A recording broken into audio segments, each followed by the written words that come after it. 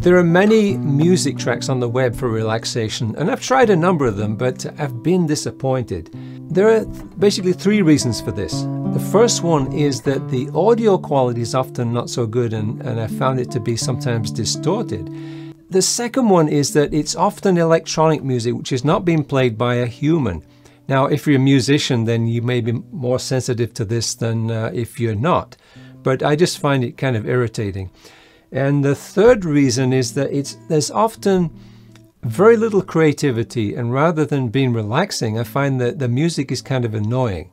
So the ones I tried uh, helped me to feel relaxed once I shut them off. So because there's very little good music to fall asleep or relax by, I've decided to record some guitar improvisation tracks to see if I can come up with something better.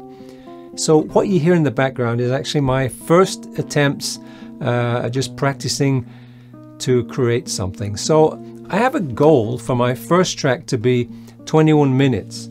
And uh, with our busy schedules, I think 21 minutes is a good amount of time to take a nap and be rejuvenated. So there's also something mystical about that number 21 that you can read about on, uh, on the internet. And uh, that's why I chose the number 21. Now there's another special number 432. You may know that uh, the ISO standard for tuning the note A is actually 440 hertz.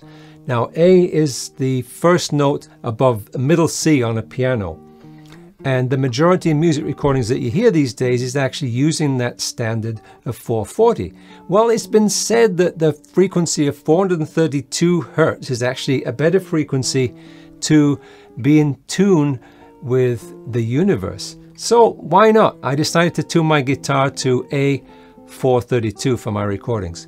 So I hope you'll give these a try and uh, that they'll help you to be rested and rejuvenated and also help you to become in harmony with the universe.